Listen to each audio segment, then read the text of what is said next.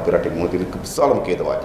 විදේශගත වෙලා ඉන්න බොහෝ අය ඔය යුරෝපේ හෝ ජපානයේ හෝ කොරියාවේ හෝ නේද විදේශගත වෙලා ඉන්න බොහෝ අය අවුරුදු 7-8ක් වැඩ කරලා ලක්ෂ 15ක් නැත්නම් ලක්ෂ 50ක් 60ක් අරගෙන ඉන්නවා. අරගෙන ඇවිල්ලා ඔහු මොකද කරන්නේ? ඔහුගේ ඉවට අනුව ඒ ඉන්නකොට අහපු දේවල් වුණාට ඇවිල්ලා මේ බිස්නස් කරනවා. එක්ක මඤ්ඤොක් කගා කරනවා. එක්ක පෙට්‍රල් සෙට් එකක් දාන්න උත්සාහ කරනවා. එක්ක හાર્ඩ්වෙයාර් එකක් දාන්න උත්සාහ කරනවා. මම කියන්නේ අවුරුදු දෙක යනකොට ඔක්කොම පාඩු වෙලා ආපහු රට යනවා. හොයලා බලන්න. ඒ මේවට කිසි මාර්ග උපදේශනයක් දෙන්න වැඩ පිළිවෙලක් නැහැ. ඒ නිසා අපි විශ්වාස කරන එක අපේ සුළු හා මධි පරිමාණ ව්‍යවසායක ක්ෂේත්‍රය ශක්තිමත් කරන්න ඉතාමත් හොඳ දත්ත තොරතුරු මත තිබෙන පුරෝකතනය සමාජයට ගලාගෙන යන්න ඕන. ඒ සමාජය විසින් තමයි අදාළ තැන නිර්මාණය කරගන්න ඕනකම තිබෙන්නේ.